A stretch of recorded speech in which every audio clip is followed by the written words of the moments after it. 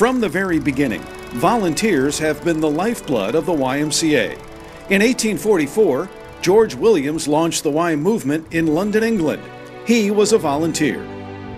In 1890, a gospel wagon coordinated by volunteers was used to transport men from the streets of Fort Worth to rented YMCA facilities. The downtown Y was built in 1924 with volunteer Amon G. Carter Sr. laying the cornerstone. Volunteers raised the funds to make the YMCA programs happen and build facilities. A longtime YMCA volunteer, Lofton Witcher recalls his first YMCA experience thanks to his mother. She didn't know really what to do with me, so she brought me to the Y. So I came down here in 1939, and uh, at that time, it cost $6 a year. You know, you divide $6 by the 250 times I came, it was a, it was a pretty reasonable experience.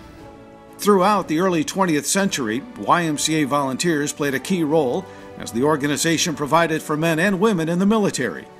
As World War II was ending, volunteer Alan Howarth came to the Y as a six year old with an interest in one particular game. Uh, I would come down here, for example, there used to be a lot of pool tables down here. And as a, you know, six or seven, eight year old, you played on the little pool tables. And I thought, someday I'm going to be 12 years old and I get to play in the big pool table. And that was something, I, it kept me coming back.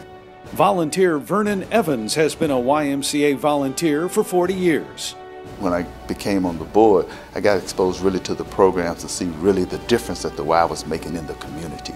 I get a lot of joy from this.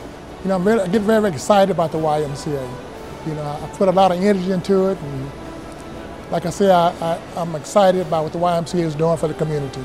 I think I kind of owe the Y something, you know, that I guess maybe it's a paying back, you know. This was my home.